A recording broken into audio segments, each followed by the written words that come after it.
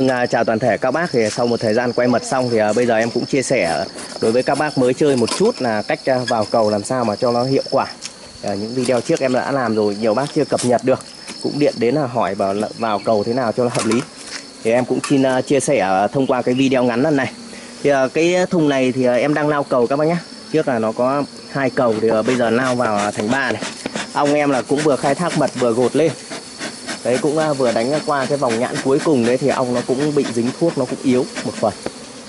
Bây giờ gột lên. Đây các bác có thể thấy cầu nhộng những cái cầu cầu nhộng này cũng khá là đẹp ong đang lên rất là nhiều đấy. Mật khai thác bên trên ong chúa đẻ bên dưới này tuyển ong cái này thì à, ong như thế này thì à, chỉ khai thác hết những cái vòng mật keo này mật rừng này thì nó sẽ ổn định trở lại để tiếp tục đi đánh cái mật bạch đàn thì ờ, cũng chia sẻ luôn với các bác một chút là cái cầu này là em mới lao này thì cầu này là em bỏ thước nhé Đấy, tất cả các bác ở tất cả mọi miền thì chả biết là có làm như thế hay không. Mà ở quê em là cách làm là nó như vậy. Đấy ốp sát vào này. Ờ. Thế là đàn này là ba cầu này. Để nó cố gắng đến ờ, lúc bạch đàn thì là ong nó lên thì là được bốn cầu đi khai thác là cho nó đạt tiêu chuẩn. Từ 4 đến 5 cầu. Cầu mạnh.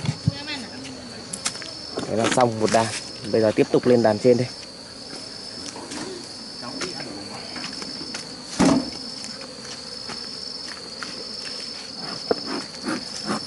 Đấy bác các bác uh, dùng cái bình xịt khói các bác uh, xịt vào cho ong nó tản ra. Để khi uh, ghim cầu vào thì uh, tránh cái tình trạng con ong nó bị kẹp nó chết. Phí của các bác.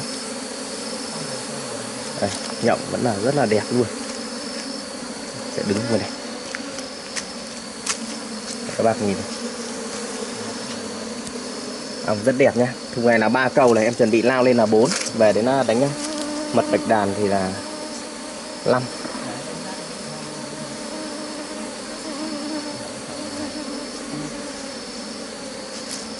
cứ vào đi.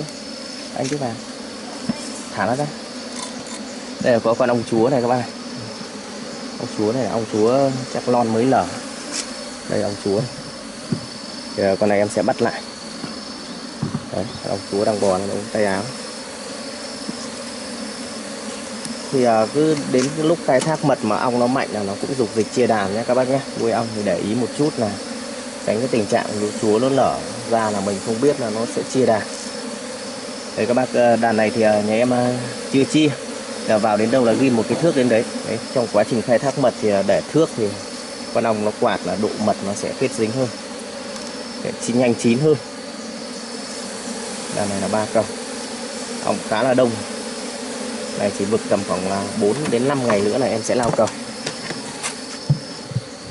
đây, đây đàn ba cầu này các bác ơi em cũng đánh số ở bên trên Đấy còn à, về cái khu nguồn thì à, những video trước em cũng giới thiệu rồi. Đây là nguồn nhà em ở tất cả những cái khu rừng đây, khu rừng xung quanh đây. Đây là tuyền là những cái cây keo to thôi các bạn này. Keo rất là to. Đạt từ à, 55 đến 75 tuổi rồi. Trong quá trình à, tiết mật rồi. Còn à, phế khuấn ở bên dưới kia là bây giờ là lúa đang chỗ nhé các bác nhé. Đấy là cái nguồn phấn để lấy về.